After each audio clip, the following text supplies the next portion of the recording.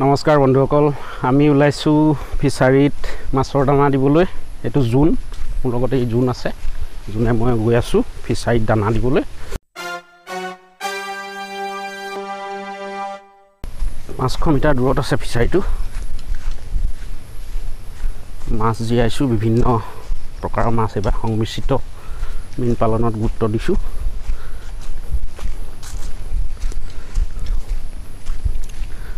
ৰৌ বাহু মিৰিকা গ্ৰাছ কাপ চেনিপুঠি ভাঙোন চিতলো জীয়ালোঁ এশজনী। তাৰপিছতে আৰু ৰূপচন্দা জীয়াইছোঁ ত্ৰিছজনী। ৰাস্তা পদূলি বোকা বৰষুণ দিছে। জোন মেইন মানুহ আমাৰ। এই জোন আহি আছে। উনাতে দানা লৈ। নহয় জোন হুম? মাছটো ডাঙৰ হৈছেগৈ আৰু লাহে লাহে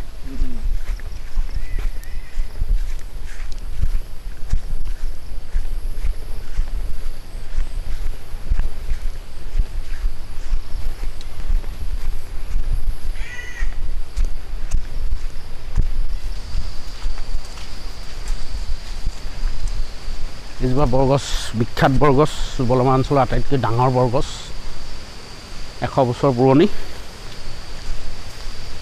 বৰজোপাৰ তলতে দিনটো থাকোঁ আৰু মই। বন্ধুসকল এনেকৈ ব্যস্ত হৈ আছোঁ। আপোনালোকে ক'বচোন এই লকডাউনৰ সময়খিনিত কেনেকৈ ব্যস্ত আছে? লকডাউন আজি চৈধ্য কাইলৈ পোন্ধৰ তাৰিখ জুলাই।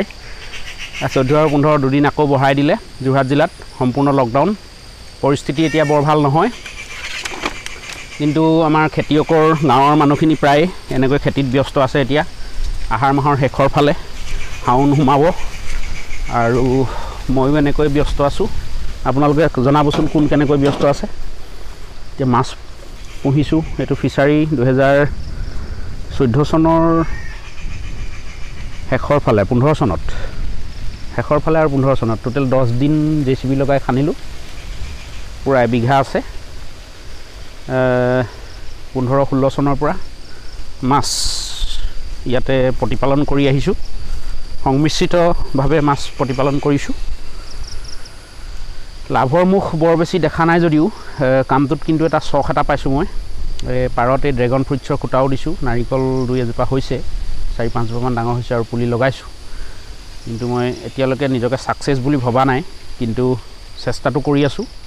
এৰাধাৰাৰ মাজেৰে বিভিন্ন ধৰণৰ কাম কাজত মই জড়িত হৈ পৰোঁ আচলতে ভাল লাগে। এই দে দানা দে তই চাই থাকিব নালাগে। ই চাই আছে বোলে। এই জোনক লৈ আনিছোঁ। দানা যিটো উপঙি থকা ফ্ল'টিং দানা এটা মই দিছোঁ সদ্যহতে। সেয়া আহি গ'ল। দিয়াৰ লগে লগে মাছকেইজনী আহিয়ে যায় আৰু। সিহঁতি মানে একে ঠাইতে নিদিবি সেই ইফালে দে। অলপ অভ্যাস এটা হৈছে। খুৱাই খুৱাই দানাটো এয়া চাওক। মাছ এই এইবাৰ যিবোৰ মাছ বৰ বেছি ডাঙৰ হোৱা নাই কিন্তু ডেৰশ গ্ৰামমান হৈ গৈছে কিছুমান ডাঙৰকেইজনী এইখিনি যিখিনি খাইছে এইখিনি ৰৌ মিৰিকা বাহু চেনিপুঠি এনেকুৱাবিলাকে আচলতে ফ্ল'টিং যিটো দানা এইটো খাই বেছি ভাল পায়। নামনি অসমৰ ফালে আচলতে ধুবুৰী বা নগাঁৱৰ পৰা যিখিনি মাছ পালন কৰে জানো সেইখিনি সেইসকলে কিন্তু পুখুৰীবোৰ বৰ বেছি দ নহয়। মোৰ এইটো কিন্তু যথেষ্ট দ পুখুৰী পানীটো গোটেই সময়খিনিত থাকে। আৰু মই ক'ব বিচাৰিছিলোঁ যে ছমাহমানতে ছমাহ সাত মাহত মাছটো বিক্ৰী কৰি দিব পৰা হৈ যায়।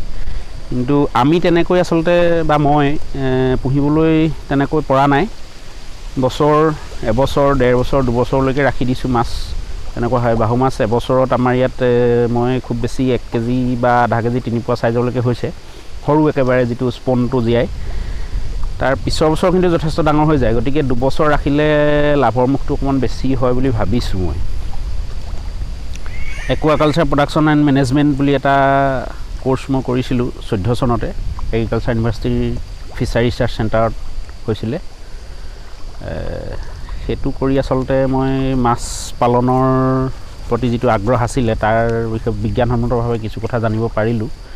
আৰু তাকে সাৰথি কৰি সেই কথাখিনিকে সাৰথি কৰি আচলতে মই মৎস্য পালন মাছ পালন কথাটোত গুৰুত্ব দিছোঁ। কিন্তু এৰা ধাৰাৰ মাজেৰে কৈছোঁৱেই। এইখিনি চাওক আপোনালোকে। ডাঙৰ হৈছে। সেইফালে দে আগলৈ দে। হাবি হৈছিলে পুখুৰী পাৰটোত। তাত দে অঁ সেইখিনি দে। হাবি হৈছিলে এই হাবিবোৰ এইকেইদিন কাটিলোঁ। ৰ'দৰ সময়ত কাটি মেলি চাফ চিকুণ কৰিছোঁ। ড্ৰেগন ফ্ৰুইটছৰ মাজত হাবি হৈ গ'ল গোটেই। এইখিনি কাটিব লাগিব। এয়া ড্ৰেগন ফ্ৰুইটছ এনেকুৱা হৈছে আৰু এইডালহেঁত এয়া। আৰু দেখাইছোঁ এইজোপা অলপ ডাঙৰ হৈছে। এই ডেৰ দুমাহমান হৈছে মই ৰোৱা। এইখিনিতে সিমানটো হৈছে আৰু। এতিয়া মাছৰ কথাটো মানে কি হৈছে মাছৰ বজাৰখন যথেষ্ট আছে আমাৰ ইয়াত। কিন্তু এনেকুৱা হয় যে মাছ টিয়কত বিক্ৰী কৰিবলৈ গ'লেচোন আমি বেছি পইচা নাপাওঁ গাড়ী লৈ বহিলে। কিন্তু কিনিবলৈ গ'লে আকৌ যথেষ্ট ভৰিবলগীয়া হয়। সেই কথাবোৰ কেতিয়াবা বেয়াও লাগে। যি কি নহওক বাৰু কিন্তু যথেষ্ট মাছ পালন কৰাৰ কিন্তু অসমত যথেষ্ট থল আছে। যথেষ্ট থল আছে। আৰু এটা ভাল লগা কথা মই আপোনালোকক দেখাম মই যাম বুলি ভাবি আছোঁ। জাজিমুখৰ ফালে আমাৰ দুজনমানে কৰিছে টিয়কৰ যথেষ্ট প্ৰায় সত্তৰ বিঘা মাটি ইতিমধ্যে লৈ পেলানি এই কাম আৰম্ভ কৰি দিছে। এইবছৰ মাছ জীয়াইছে মই ছ'চিয়েল মিডিয়াত ফটো দিছে তেওঁলোকে। তেওঁলোকৰ তালৈ যাম মই। যোৱাৰ খুব আশা আছে। দেখাম আপোনালোকক। এনেকুৱা হৈছে আৰু মাছৰ। আৰু দানাটো তিনি প্ৰকাৰে আচলতে দিব লাগে। মই আগতে দিওঁ এইবাৰ এতিয়ালৈকে দিয়া নাই দিম আৰু। তিনিটা তৰপত দিব লাগে তলৰ মাছখিনি। এখিনি মাছ আছে যিখিনি তলত খায় দানাটো আচলতে এখিনি পানীৰ মাজভাগত খায়। আৰু এখিনি মাছ আছে আপোনাৰ এই এনেকৈ ওপৰত যিটো উপঙি থকা দানা ফ্ল'টিং এই দানাটো খায়।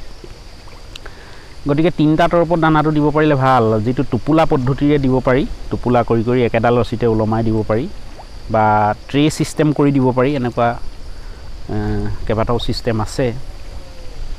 গতিকে সেই তেনেধৰণে দিলে ভাল হয় সকলোৱে দানাটো খাবলৈ পায়। যোন হৈ গ'ল নি? দি দিলি। ডেৰ কেজিমান আহিছিলে ন? আৰু মাছৰ কি হয় দানাটো মানে বডি ৱেটৰ টু পাৰ্চেণ্ট খায় এজনী মাছে দৈনিক। যদি আপোনাৰ টু পাৰ্চেণ্ট মানে বডি ৱেটৰ টু পাৰ্চেণ্ট মাছজনী যদি এক কেজি হৈছে তেনেহ'লে সি অঁ যা দিয়া। অঁ। অঁ।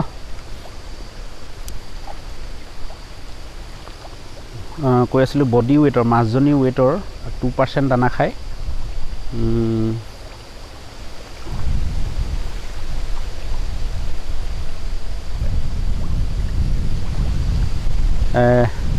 এশ গ্ৰাম যদি হৈছে মাছজনীয়ে তেনেহ'লে তাইক এবাৰত দুই গ্ৰাম দানা লাগে।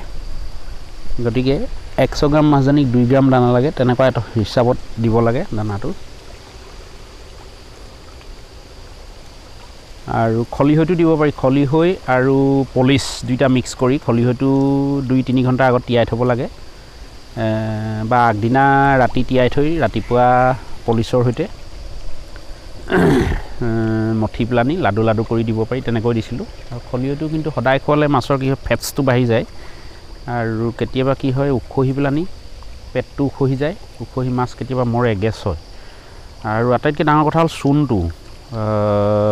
যিটো পি এইচ কণ্ট্ৰল কৰিব লাগে খাৰকীয়তা আৰু অম্লীয়তা টেঙেচীয়া থাকে পানী আৰু মাটিৰ গুণাগুণ। গতিকে মাছক অলপ খাৰুৱা পানী দৰকাৰ। আমাৰ ইয়াত অম্বতাটো বেছি আছে টেঙাটো। গতিকে বেছি টেঙেচীয়া হ'লে মানে মাছটো মাছে বেয়া পায়। গতিকে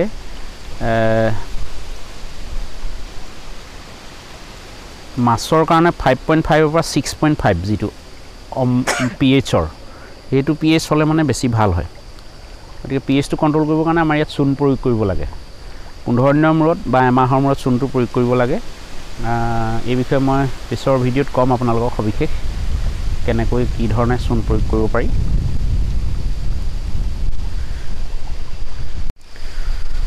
সেই মাছৰ দানা দিলোঁ আমি। দানা খাই আছে এইটোৱে ফিচাৰী আৰু অসমৰ যিসকলে মাছ পালন কৰি আছে। সেইসকলক মই আজিৰ দিনটোত চবকে মই ধন্যবাদ জনাইছোঁ। আৰু এই বেয়া সময়খিনি কৰোণাৰ যি উৎপাত বুলি কৈছোঁ কৰোণা ক'ভিড নাইণ্টিনৰ ভাইৰাছৰ যি উৎপাত হৈছে পৃথিৱীত বহু দেশত কমি গৈছে ইতিমধ্যে সাধাৰণভাৱে জীৱন যাপন কৰিবলৈ পাৰিছে মানুহে। কিন্তু আমাৰ ইয়াত ভাৰতবৰ্ষৰ লগতে কেইবাখনো দেশত ইতিমধ্যে কিন্তু যথেষ্ট ত্ৰাসৰ সৃষ্টি কৰিছে। তাৰ মাজতো কিন্তু যিসকলে যোগাত্মক ধৰণে কাম কৰি আছে যিসকল খেতিয়কে বিশেষকৈ খেতিক বাদ দি কিন্তু এখন উন্নয়নশীল ৰাষ্ট্ৰ হিচাপে ভাৰতৰ গত্যন্তৰ নাই।